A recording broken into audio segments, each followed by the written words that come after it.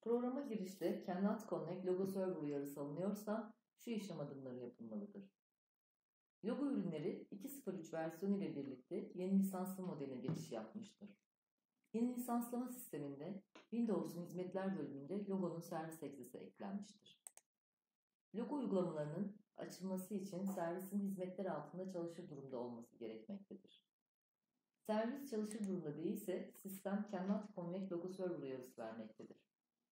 Bu noktada sistem işletmeni Yönetim, veri tabanı lisans sunucu ayarları ekranındaki lisans sunucu bilgileri bölümüne IP adres alanına ürünün kurulum yapıldığı lisanslama servisinin çalıştığı sunucunun adı veya IP adresi yazılmalıdır.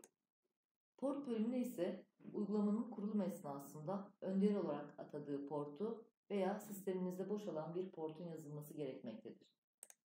Ana makinede uygulamanın açılması sırasında hata alınıyorsa, öncelikle işletim sisteminin hizmetler bölümünde logo uygulaması servisinin çalışır durumda olduğu kontrol edilmelidir.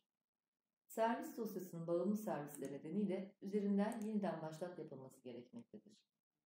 Terminalde uygulamanın açılmaması sırasında hata alınıyorsa, ana makinede servis yeniden başlatılmalıdır. Ardından ana makine ve terminal üzerinde her iki makinede de güvenlik duvarı üzerinde gelen gelen kural ile TCP/IP'den uygulama portu istisna tanımlanmalıdır. Server ile terminal arasındaki port bağlantısı komut ile kontrol edilebilir.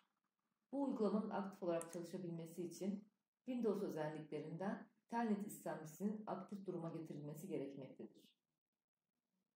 Telnet bilgisayar adı veya IP adresi boşluk port no.